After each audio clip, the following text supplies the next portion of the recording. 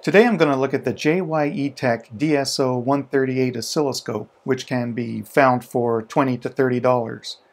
I'm not going to go through all the features of it, but I wanted to look at the limitations and useful aspects of it. I'm using a bench supply to give approximately 9 volts to the scope, and I'm also using a BK Precision old style function and sweep generator. With the dial I can adjust between 0 and 2.0 and then there's a multiplier select knob where I can choose 1, 10, 100, 1000, 10,000, 100,000 and 1 million.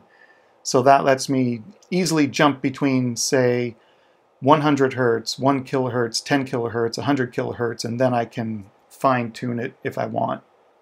I'm starting out with a sine wave around 100 hertz to the best of the ability to set it on the knob and I'm confirming it says 100 hertz on both scopes.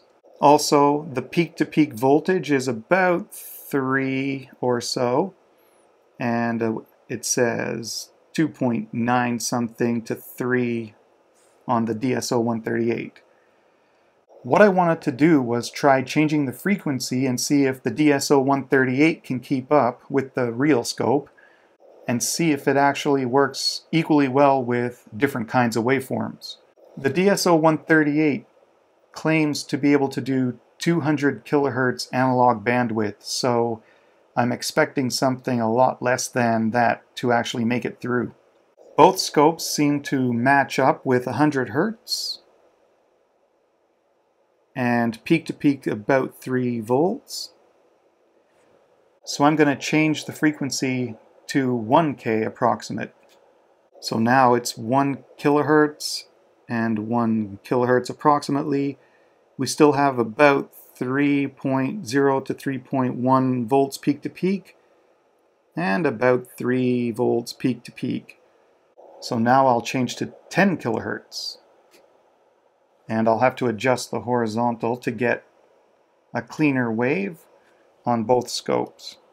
So after changing the time base on both scopes we have about 10 kilohertz and about 3.1 to 3.2 volts peak to peak on the main scope and about 10 kilohertz and about the same 2.9 something to 3 volts peak to peak on the DSO 138.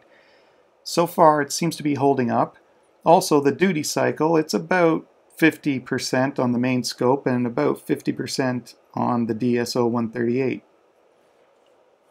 I'm going to go to 100 kilohertz now and see what happens. I'm going to have to adjust again.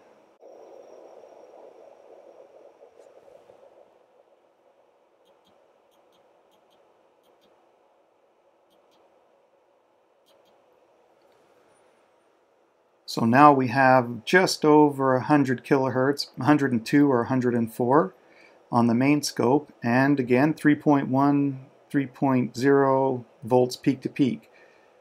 On the DSO 138 we have just over 100 kilohertz as well, 104, 105, 106. And now we've got 2.8 volts peak to peak, so we're starting to see an attenuation. So this is only at 100 kilohertz where it's supposed to have a 200 kilohertz analog bandwidth. So now I'm just going to use the variable adjustment to fine tune the frequency just to see. So I'm increasing it about 125 kilohertz now.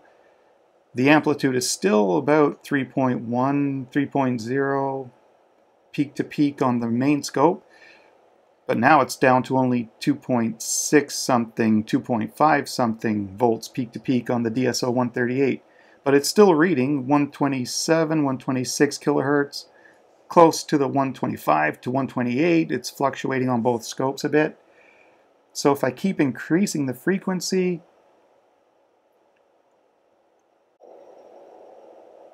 now I'm at 200 kilohertz on the main scope, well, 192 to 200.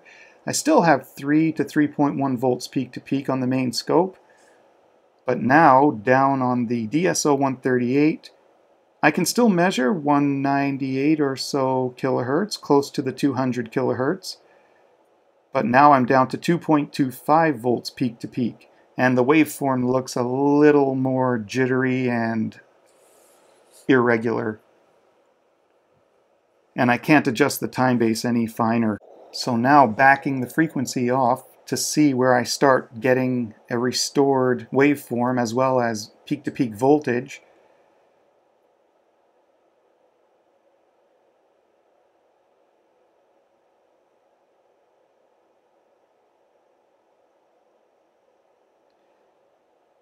I start seeing a cleaner sine wave around 90 kilohertz or 100 kilohertz depending but I still have an attenuated waveform. It's only 2.77 volts peak to peak. So if I keep lowering the frequency until I see around 3.0 to 3.1 volts peak to peak, I'll have to change the time scale. It looks like around 50 to 60 kilohertz, I finally start seeing close to the 3.0 to 3.1 volts peak to peak sine wave, and it looks a lot more accurate. So it looks like for the sine wave, we're getting about 25% bandwidth out of the 200 kilohertz advertised bandwidth. Now if I change that to square wave, starting over with the 100 hertz square wave, and knowing that the function generator is a bit hard to control with the knobs, so we're starting out with about 102 hertz and 3.2 to 3.3 volts peak to peak on the main scope, and 102, very close to 102 hertz, and 3.14 to 3.22 volts peak to peak it looks like. So it's very close to start with.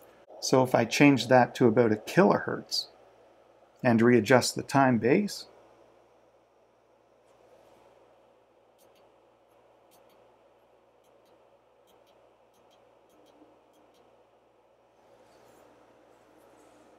now we have 1.02 kilohertz and peak to peak 3.28 to 3.36 on the main scope and 1.02 kilohertz and 3.18 to 3.22 volts peak to peak, so it's close enough still within acceptable offset that we're observing.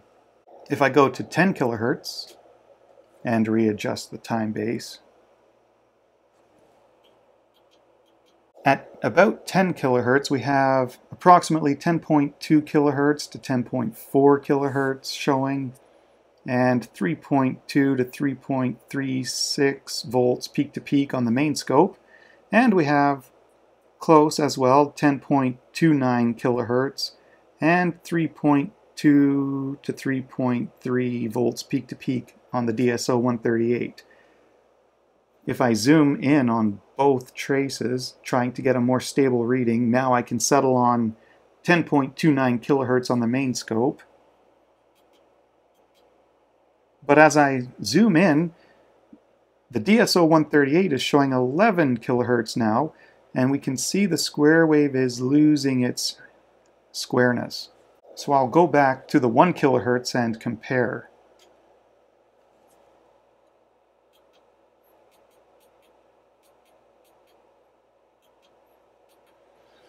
At 1 kilohertz, the DSO 138 does look a lot more square. So at 10 kilohertz, you can still see that you've got a square wave. So for visual purposes, it will do its job for 20 or $30.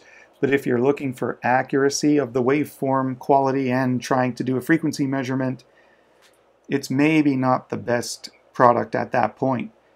The duty cycle is still showing close to 50%, and the voltage reading, now we've got 3.4 volts peak to peak versus 3.2 to 3.3 on the main scope, so that's still relatively okay. We don't really want to be doing anything too critical other than just getting a visualization of and maybe checking that we do have a changing GPIO on an Arduino or something, and maybe the duty cycle, and a rough idea of the frequency. So if this is 10 kilohertz, let's see what happens if we go to 100 kilohertz.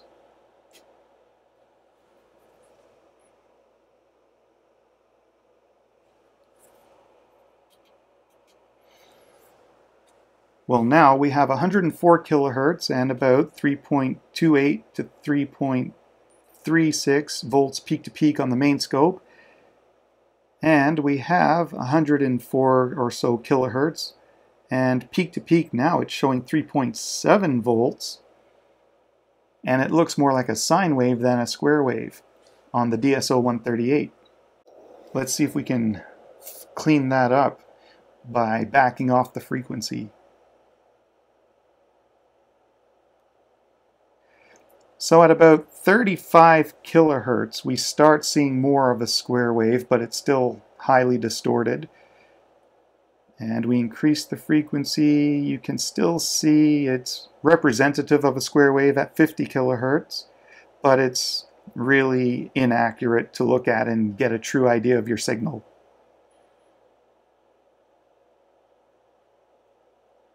Of course, as you get closer to 200 kilohertz, it's again, just like the sine wave, it's very distorted. The amplitude is all over the place. And this is just a pure non-square wave signal at this point. So this is the square wave at about close to 20 kilohertz. And, well, it's relatively square. And sine wave at 20 kilohertz is okay as well for visual purposes. So for audio projects, if you just want a visualizer for any sound generators or analog synths or things like this, using this in a hobby project capacity is probably the only thing I would use it for, which is what I bought it for, just for fun and to add a gimmick to some sound effect projects. Hopefully this evaluation can help somebody else make a better decision about if this is the product for them or not. For 20 or $30, and for low frequency audio range especially, but definitely under 50 kilohertz, just for playing around with or getting a quick view of what's happening on an Arduino port, I would recommend it for that, but not much more.